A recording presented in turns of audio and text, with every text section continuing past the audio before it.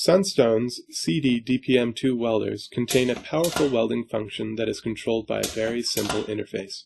The dual pulse feature is an invaluable tool to increase weld reliability and repeatability. The first, low energy welding pulse cleans oxides and oils from the metal surface. This pulse can also remove thin metal plating layers and help seat the welding electrodes. The Pulse 1 preparation then allows Pulse 2 to perform a strong and repeatable weld. It is important that Pulse 1 does not make a weld before Pulse 2. If Pulse 1 does make a weld, this will actually inhibit the main welding nugget formation, intended for Pulse 2. Pulse 1 is only intended as a low energy cleaning pulse. For initial testing, it may even be advantageous to turn off Pulse 1 until an approximate weld setting has been found.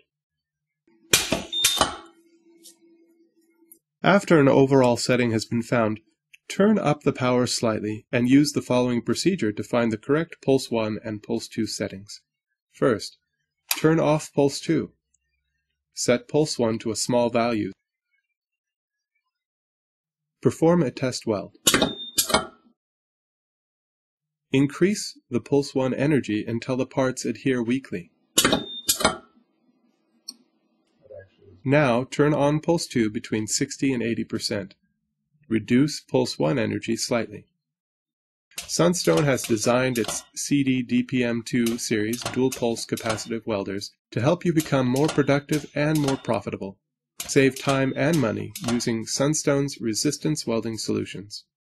For more information, contact Sunstone Engineering.